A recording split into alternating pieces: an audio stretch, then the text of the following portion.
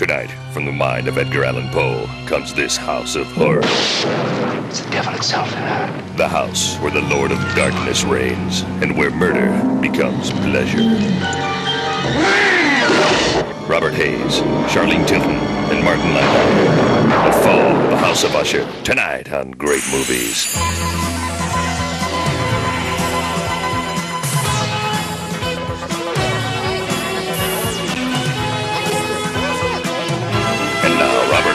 Martin Landau star in The Fall of the House of Usher.